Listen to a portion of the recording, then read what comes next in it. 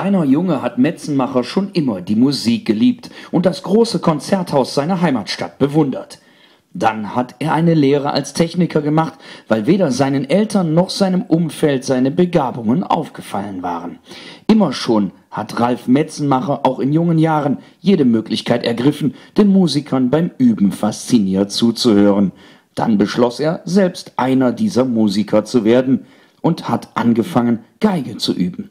Seine Übungen wurden belohnt und er konnte die Aufnahmeprüfung für das Geigenstudium bestehen. Das Musizieren hat ihm so viel Spaß und Freude bereitet, dass er sein Geigenstudium mit Auszeichnung beenden konnte. Anschließend hat er seinen Platz als Musiker in einem philharmonischen Orchester gesucht. Er hat beim größten deutschen Orchester vorgespielt, aber die Arroganz des damaligen Musikdirektors ließ ein wirkliches Zuhören und Erkennen der Zwischentöne nicht zu. Deshalb landete Metzenmacher beim damals schlechtesten Orchester Deutschlands. Dort hat er dann sehr erfolgreich mitgespielt, erste Kompositionen erschaffen und viele bekannte ältere Stücke aufgeführt.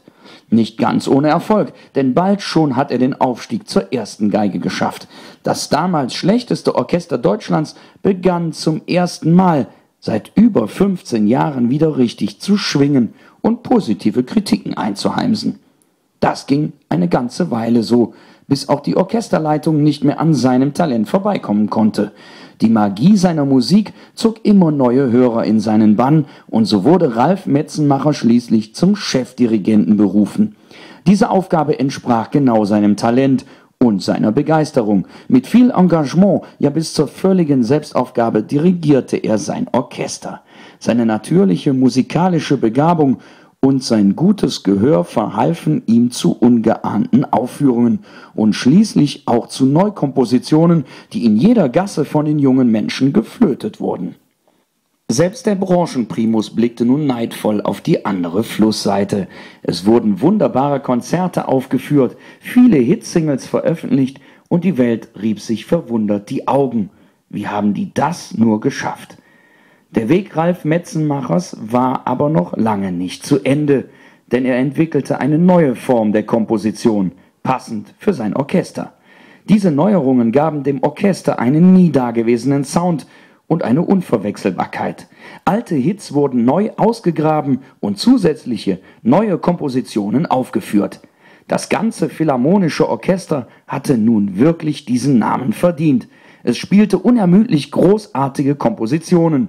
Weltweit waren die Konzerte ausverkauft und alle Titelblätter dieser Welt berichteten darüber. Dieser nie geglaubte Erfolg veranlasste die Besitzer des Orchesters Metzenmacher eine neue Aufgabe zukommen zu lassen, die des Orchesterleiters. Als Leiter verantwortete Metzenmacher alle Orchesterzweigstellen, die Personalführung der beteiligten internationalen Musiker, die dafür nötigen Budgets und das Organisieren von großen Tourneen.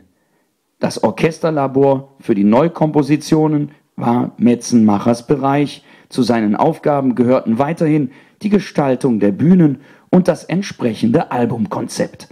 Der Erfolg des so kleinen Orchesters, das anfänglich nur aus 98 Leuten bestand, war überwältigend. Und so wurden weltweit Millionen von Platten verkauft, tausende ausverkaufte Konzerte gespielt und bis zu seinem Weggang 10.000 neue Musiker und Helfer eingestellt. Nach und nach wurde so aus dem Komponisten, Dirigenten und Orchesterleiter mit der Zeit ein Verwalter. Das wollte er aber auf keinen Fall sein. Das war ihm zu langweilig. Verwalter war nicht seine Berufung. Innovation im Kreativen, das war und ist seine Berufung. Deshalb beschloss er, die Methode der Erfindung von neuen Sounds und Kompositionen auf ein anderes Gebiet, nämlich die Innovation von Malerei, zu übertragen. Warum werden Sie sich fragen? Weil er wusste, dass er an dieser Stelle etwas einbringen konnte, was vor ihm nur selten gelungen war. Er vermischte zwei unterschiedliche Disziplinen zu etwas eigenem, Metzenmacher benannte es auch so. Der Name für seine Erfindung beinhaltet die Gedanken und die Qualität des Alten, übersetzt es ins Heute und bringt es so jungen Menschen im Neuen, in ihrer Sprache wieder nah. Alles, was bisher in der neuen Disziplin fehlt, ist ein öffentliches Konzert. dass die neue Erfindung in einem geeigneten, von der Musikwelt akzeptierten Konzertsaal zeigt. Dort erst könnte der neue Sound hörbar werden, das einmalige Konzept sichtbar werden, ein Dialog stattfinden zur Harmonie der Unterschiede, ein Beitrag zum Wohl der Allgemeinheit und das Neue könnte so seinen Platz einnehmen. Metzenmacher sieht sich als Erfinder, Komponist und Dirigent in einer Person, nunmehr auch in der Malerei. Und es wäre doch schade, wenn dieser Weg des Ralf Metzenmacher hier enden müsste.